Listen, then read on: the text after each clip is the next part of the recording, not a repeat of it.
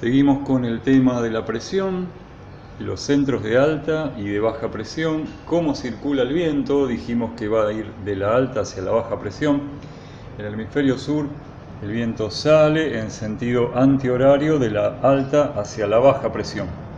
Como regla general podemos ver acá, y digamos es una regla, es lo que sucede, que a medida que nos alejamos del centro de alta presión, la presión disminuye y pasa lo inverso con la baja presión. A medida que nos alejamos del centro de baja presión, la presión aumenta. La circulación entonces en la alta presión va a ser antihoraria. Vemos que aquí en la alta presión hay vientos suaves. A medida que, nos alejamos y empieza a bajar la presión, empieza a aumentar el viento.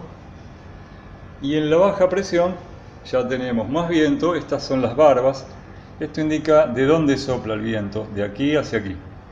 Aquí vemos que sale en sentido antihorario, en sentido inverso a las agujas del reloj, y aquí va entrando en sentido de las agujas del reloj.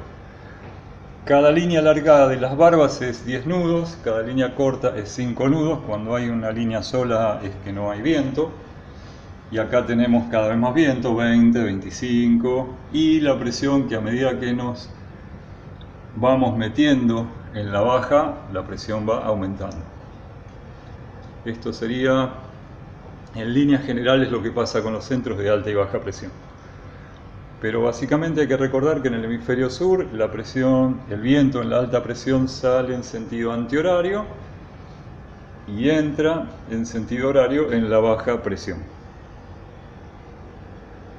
Cuando las isobaras están más cerradas, cada vez más juntas, el viento va a ser mayor entonces cuando veamos una carta de presión, una carta meteorológica con los centros de presión, las líneas de igual presión que son las isobaras, nos van a dar indicio de con qué intensidad va a soplar. Por supuesto en estas cartas de presión ya viene indicado con las barbas que, repito, esta es la dirección en que sopla el viento, es decir, desde donde están las barbas hacia la parte que no tiene las barbas, esas líneas, y cada línea, una línea cortita 5 nudos, una larga es 10 nudos y así vamos aumentando, aquí tenemos 25, etc. Al llegar a los 50 nudos se pone un triangulito, relleno, digamos, un triangulito oscuro.